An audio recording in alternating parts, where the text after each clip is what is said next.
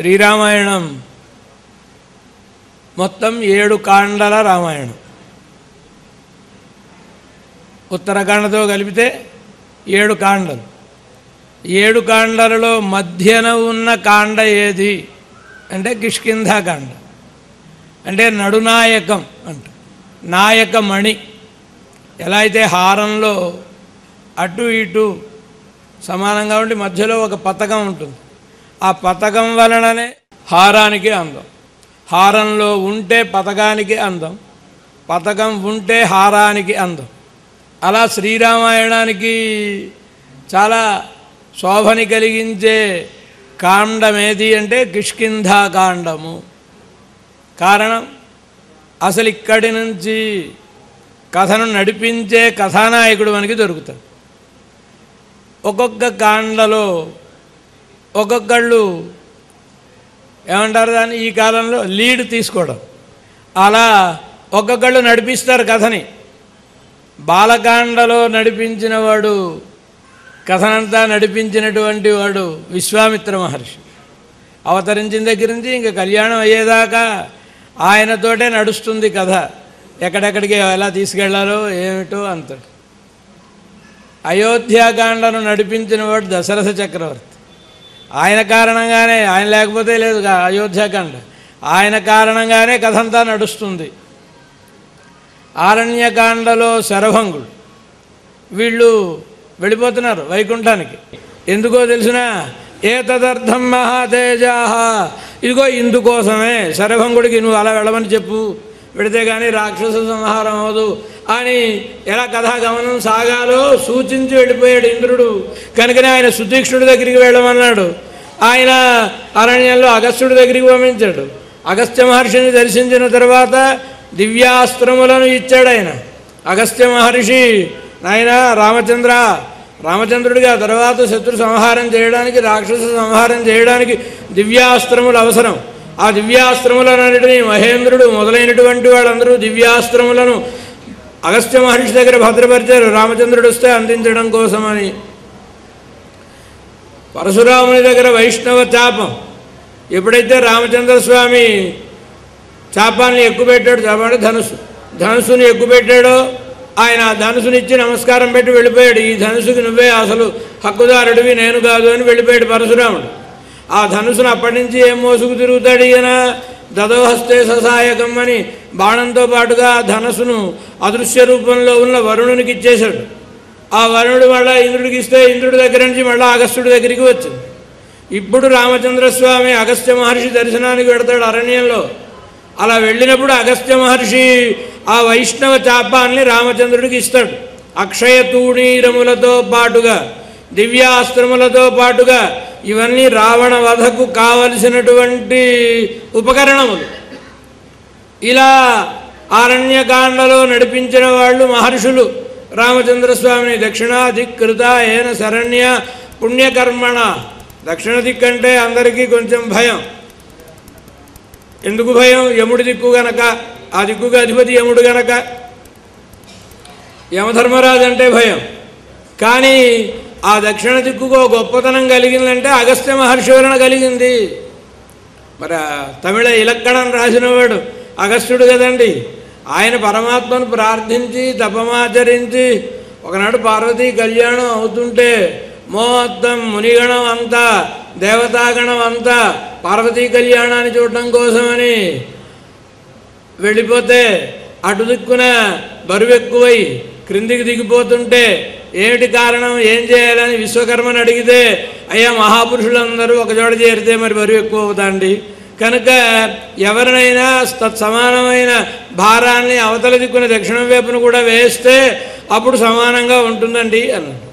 అంటే ఎవరు పెడతారయ్యా? అందరూ పార్వతీ కళ్యాణం చూడడానికి వచ్చిన వాళ్ళే. ఎవడని వెళ్ళమంటే పెడతారు? పెళ్ళికి వచ్చిన వాళ్ళు మీరు వెళ్ళిపోండి అంటే బాగుంటుందా?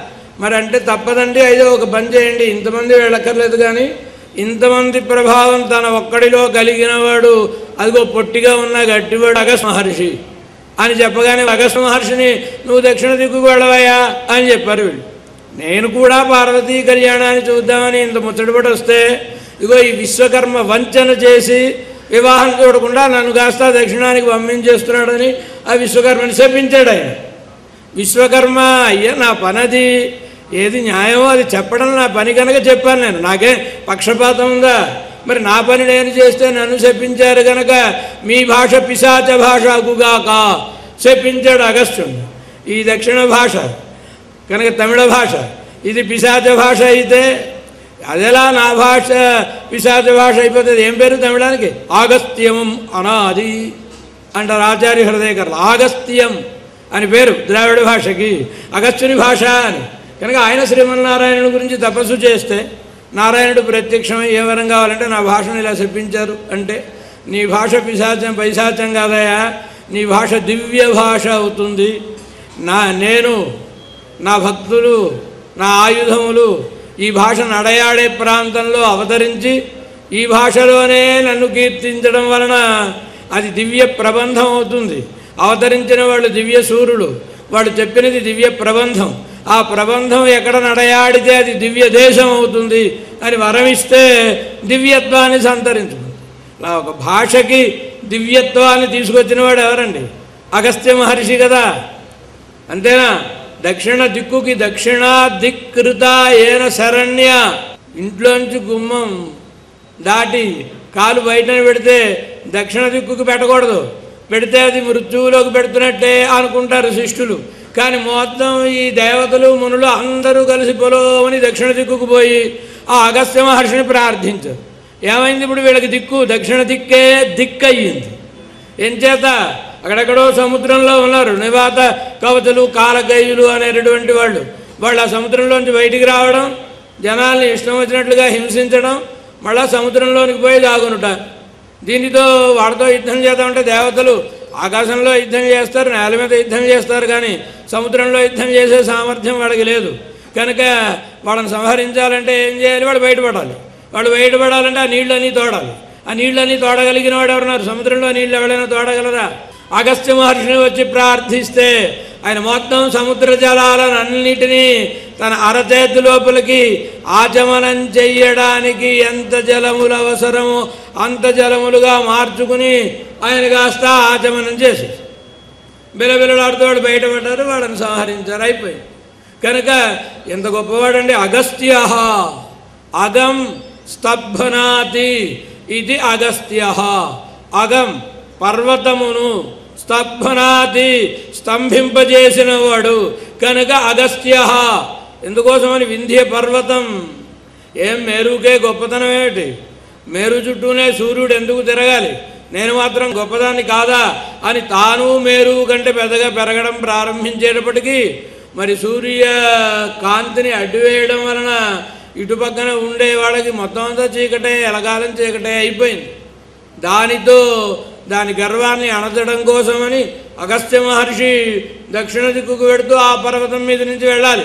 పర్వతం దగ్గరికి వచ్చేప్పటికి పర్వతం చూచి అమ్మో మహర్షి గారు పెడుతున్నాడని క్రిందికి దిగి క్రింది నమస్కారం పెట్టి అయ్యా ఏమిటండి ఇలా ఏం చేశారు? అన్నాడు. నేను కొంచెం అవతలకి వెళ్ళాలయ్యా అన్నాడు. అయితే మీరు వెళ్ళండి నడిచి వెళ్ళిపోవచ్చునండి అని కిందికి దిగాడు. మళ్ళీ పని చూసుకుని వస్తాను నేను వచ్చేదాకా ఇలాగే ఉండు అని చెప్పి వెళ్ళాడు మరి రాలేదు. కనుక ఆయన మరి రాలేదు కనుక అలా ఉండిపోయింది. వింధ్య పర్వం ఇలా అగస్త్య మహర్షి అంటే ఆయన గొప్పతనం. ఎంత గొప్పదండి? వాతాపీల్వలుడు. వీళ్ళిద్దరూ వీళ్ళిద్దరూ బ్రహ్మ వలన వరాల్ని పొందినటువంటి వాళ్ళు. మరణించినా బ్రతుకుతాడు వాతాపి. వాడిని అలా ఒక మేక కింద చేసి పదార్థం కింద చేసి వచ్చిన ఋషుల్ని వాళ్ళని అయ్యా మీరు మా ఇంటికి ఎందుకు రావాలని వీడిని వండి పెట్టేసేవాడు. పాపం ఆయన ఆరగించిన తర్వాత వాతాపే నిష్క్రమస్వ. రే వాతాపే ఆగచ్చ. వాతాపి రా బయటికి. అనగానే వాడు కాస్త పొట్ట చీల్చుకుని వచ్చాడు. ఈ అన్నదమ్ములు ఇద్దరు కలిసి పాపం ఆ ఋషి గారిని తినేశారు. ఇదే వీళ్ళ పని. ఎప్పుడు వీళ్ళందరూ మళ్ళీ అగస్త్య మహర్షిని ప్రార్థిస్తే సరే అని ఈయన వెళ్ళాడు. వెళ్ళిన తర్వాత వాడి పద్ధతి ప్రకారం వాడు ఆ వాతాపిని వండి పెట్టి ఈయన సాపాడంతా అయిపోయిన తర్వాత వాతాపే ఆగచ్చ అన్నాడు. ఇంకేం వాతాపిరా? మన వాళ్ళు అంటారు కదా జీర్ణం జీర్ణం వాతాపి జీర్ణం అని. కనుక ఇంకేం చేయ వాతాపిరా? ఎప్పుడో జీర్ణం అయిపోయాడు లోపల ఆ అన్నాడు. అంటే బ్రహ్మవరాల్ని కూడా మళ్ళించగలిగిన సామర్థ్యం కలిగిన వాడు అగస్త్య మహర్షి అంటే కనుక సామర్థ్యం అనేది రూపాన్ని బట్టి ఉండదు సామర్థ్యం అనేది అభిజనాన్ని జన్మని బట్టి ఉండదు. ఘటో గుంభస్థానం. ఎవరండి? ఎక్కడ పుట్టాడు అగస్టు ఒక కుండలో పుట్టాడు ఆయన. కనుక పుట్టుకను బట్టి గొప్పతనం ఉండదు. ఏ వ్యక్తిగా ఆ వ్యక్తి యొక్క ప్రత్యేకమైనటువంటి స్థితిని బట్టి శక్తిని బట్టి ఉంటుంది కానీ మొత్తం వాడొచ్చి మీద పడిపోతే హుంకరించాడు వాడు కాస్త భస్మమై పడిపోయాడు. ఇల్వలు ఇది గొప్పతనం. అగస్త్య మహర్షి గొప్పతనం. అగస్త్య మహర్షి అంటే ఇక ముందు వెళ్ళబోతున్నారు. కిష్కింధాకాండ కిష్కింధాకాండకు పూర్వరంగం బీజ ప్రక్షేపం అంటారు బీజాల్ని ఆరణ్యకాండలోనే వేయాలి. ఆచార్య వైభవం భాగవతోత్తముల వైభవం ఎట్లాంటిది? ఎలాంటి వారై ఉంటారు? దాన్ని అగస్త్య మహర్షి ద్వారా మనకి వాల్మీకి మహర్షి సూచిస్తున్నాడు మహాపురుషులు ఎలా ఉంటారు అనే దానిని. ఎలా ఉంటారండి మహాపురుషులు అనేవారు? పర్వతాల్ని క్రిందికి దించి దాని మించి నడిచి వెళ్ళినటువంటి వాడు మూడు గొప్పతనాలు ఆయన అగస్త్య మహర్షికి ఇంత గొప్పతనం ఉన్నా ఎప్పుడూ వినయంగానే ఉంటాడు ఆయన. అది కావలసింది. అభిజనం ఉన్నా విద్య ఉన్నా వృత్తం ఉన్నా ఈ మదములు తన దరిని చేరకుండా ఉంటే అతడు గొప్పవాడు. అగస్త్యుడు ఇన్ని గొప్పతనములున్నా పరమ సాత్వికంగా ఉంటాడు. ఇదే కావాల్సింది. ఏమంటారు మనకి? కొరత్తాళ్వాన్ ఆచార్యులలో ఎవరు కనబడతారండి? కొరత్తాళ్వాన్ ఏమంటారు? మొഴിయై కడగ్గం బెరుంబుహళాన్ పంచముగ్గురుంబాం మొడియై కడగ్గం మాటలకు అందరి గొప్పతనం కలిగిన వారు కోరత్తాళ్వాన్ ఎలాంటి వాళ్ళైనా? అభిజన మతము విద్యామతము లేదా ఐశ్వర్య మదము వాటికి చిక్కిపోతారు. అలాంటి వాటికి వేటికి చిక్కనటువంటి మహానుభావులు వీటిలో పడనటువంటి వారు కోరతాడు అదిగో అలాంటి మహానుభావుడైన అగస్త్య మహర్షి అంటే కనుక ఆయనను సేవించుకుంటే తరువాతి కథకు అవసరమైనటువంటి ఆయుధరాజుని అంతటిని ఆయన ఇచ్చాడు రామచంద్రస్వామికి. దానితోటే కరదూషణల సంహారం జరిగిందంటే ఎలా చేశాడు? దివ్యాస్త్రములతో వాళ్ళని సంహరించాడు రామచంద్రుడు అంటే అగస్త్య మహర్షి దగ్గర లభించినటువంటి దివ్యాస్త్రములన్నీ ఉన్నాయి గనక. కిష్కింధాకాండ ఆచార్య వైభవాన్ని తెలిపే కాండ బాలకాండకు అయోధ్యాకాండకు సంబంధం. ఆయన అవతరించాడు. అవతరించిన స్వర్గలోనే వివాహం గురించి ఆలోచిస్తున్నాడు. ఇందులో విశ్వామిత్రుడు రాక ఇవి అన్నీ జరిగాయి కదా.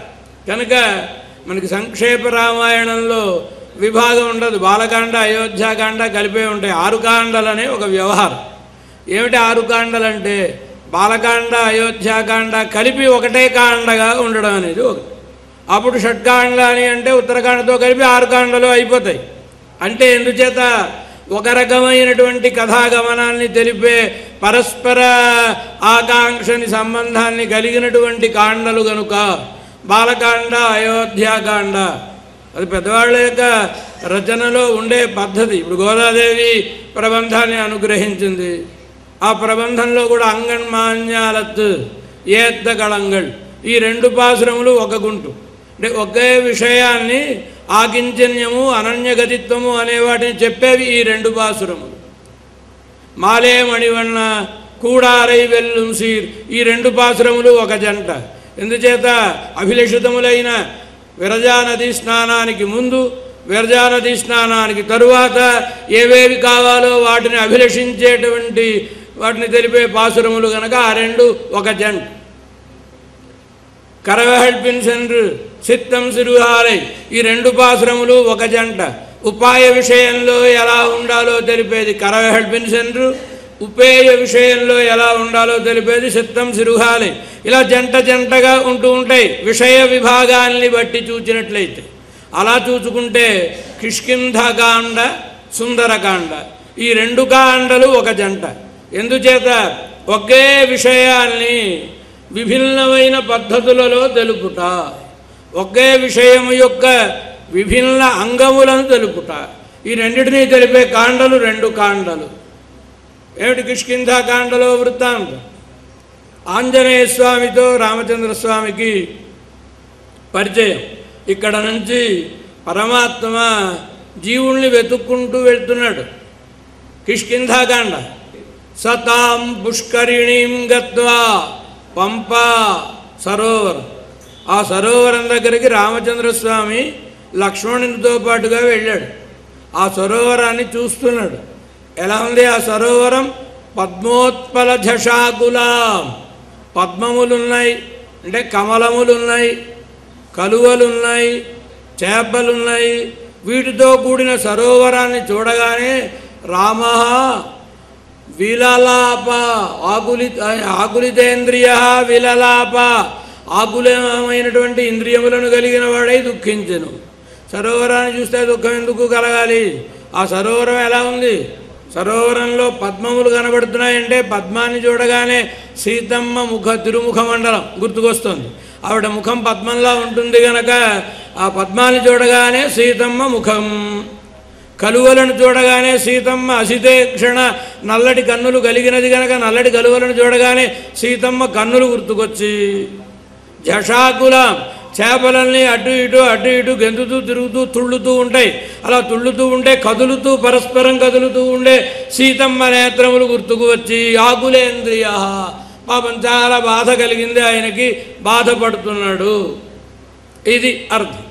ఏమిటిట? సరోవరంలో వీటిని చూచి బాధపడడం అంటే అర్థం ఏమిటి ఎవరెవరున్నారు అక్కడ పద్మములు ఉన్నాయి కలువలు ఉన్నాయి చేపలు ఉన్నాయి ఇందులో పద్మములు ఎల్లప్పుడూ భగవానుడనే వాని దర్శనం అనే దాని కొరత ఉండదు గనక నిరంతరం భగవానుణ్ణి వైకుంఠలోకంలో అనుభవిస్తూ ఉండేటటువంటి నిత్యసూరులందరూ పద్మముల లాంటివాడు.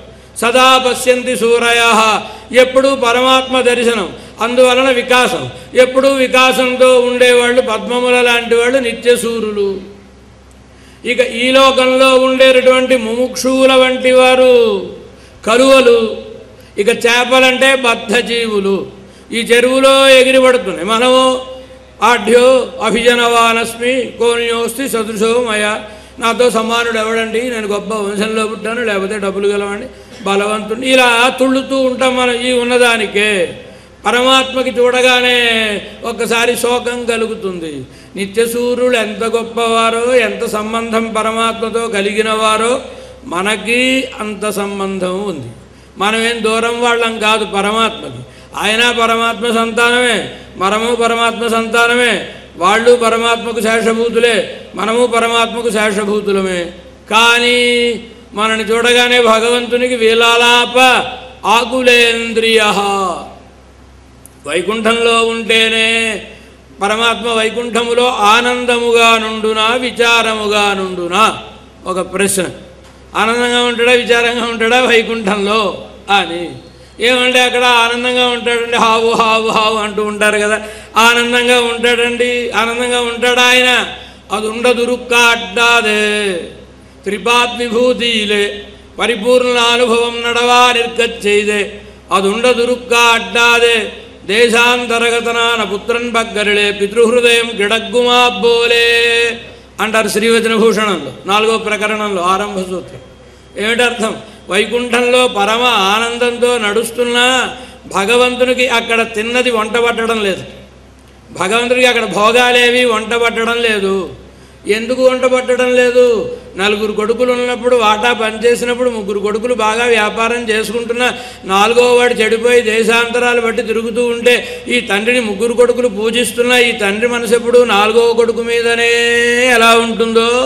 భగవంతుడిని త్రిపాద్విభూతి ఇంతకు మూడు రెట్ల లోకంలో ఎంతమంది సేవిస్తున్నా ఆయన దృష్టి ఎప్పుడూ మన మీదనే ఉంటుంది.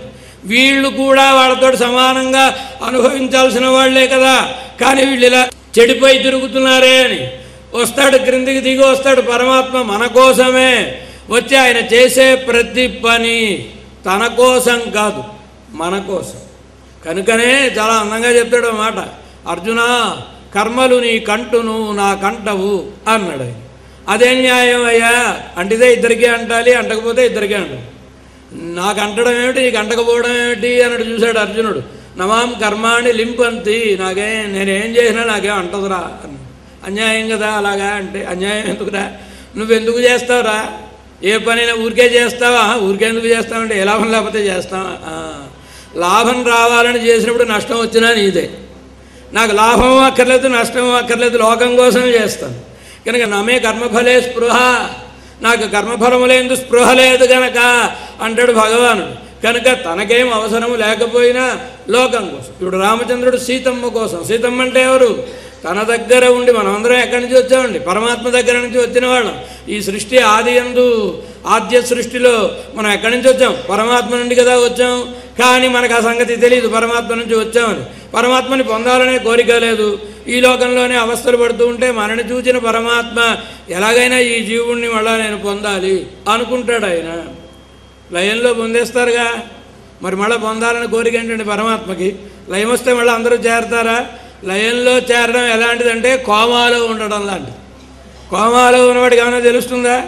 అలా లయంలో పరమాత్మలో లీనమైపోయిన వాడికి ఏమైనా సుఖము దుఃఖము పరమాత్మ వైభవం ఏమైనా తెలుస్తాయా?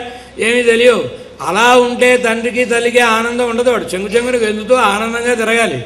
అలా ఆనందంగా తిరిగే దశేది అంటే పరమాత్మ సన్నిధానాన్ని పొంది అక్కడ అహవలనం అహవలనం అహవలనం అని ఆనందించడం ఈ దశ కలిగించాలి ప్రతి జీవునికి. తనతో ఉండే జీవుడు సాంసారిక వ్యామోహంతో తనను విడిచిపెట్టి వెళ్ళిపోయాడు. ఆ లంకలో ఉండిపోయాడు. ఇప్పుడు ఆ జీవుల్ని పొందాలి. పొందడానికి ఏం చేయాలి? అన్వేషిస్తున్నాడు పరమాత్మ. కనుకనే వెతుక్కుంటూ వెతుక్కుంటూ ఎందుకు ఋష్యముఖం దగ్గరికి వచ్చాడు పరమాత్మ? ఇప్పుడు సుగ్రీవుని ద్వారా మళ్ళా ఆ జీవుల్ని తన దగ్గరకు రావించుకోవాలి. పరమాత్మను పొందుటకు జీవుడు కృషి చేయునా? జీవుని పొందుటకు పరమాత్మ కృషి చేయునా? ఎవళ్ళు కృషి చేస్తారు? ప్రాప్తావం ప్రాపగనం ఫలద్గురుపానం అవనే సూత్రం. పొందువాడు పరమాత్మ పొందించువాడు పరమాత్మ పొందుట వలన ఆనందమునందువాడు పరమాత్మ అని. అంటే మనం పరమాత్మని పొందితే మనకు ఆనందమా? పరమాత్మకు ఆనందమా? ఎవడికి ఆనందం కలగాలి? మనకు కలగాల? పరమాత్మకు కలగాల? మనమెవరు? ఆయన ఎవరు? మనము సొత్తు. ఆయన స్వామి. సొత్తును పొందుట వలన స్వామికి ఆనందమా? స్వామిని పొందుట వలన సొత్తుకు ఆనందమా? రెండు వేల రూపాయల కాగితం మన జేబులోంచి ఎగిరి పడిపోతే అది దుఃఖించునా? మనము దుఃఖించుమా? అదేమైనా మా యజమాని గారి జేబులోంచి పడిపోయినట్టు పాపం అని ఏమన్నా దుఃఖిస్తుందా? మనం రెండు వేల కాగితం పోయిందండి అని మనం బాధపడదు. తిరిగి ఒకవేళ రెండు వేల రూపాయల కాగితం ఎవడైనా పట్టుకొచ్చాయా మీదేనా అని ఇచ్చేశారనుకోండి. అది ఆనందించునా? మనం ఆనందించుమా? మా యజమాని దగ్గరికి వెళ్ళిపోయానండి అని దానికేం సంబరం ఉండదు. కానీ కష్టార్జితం అండి ఎక్కడికి పోతుందండి? వచ్చిందండి. అని మనం ఆనందిస్తాం కదా.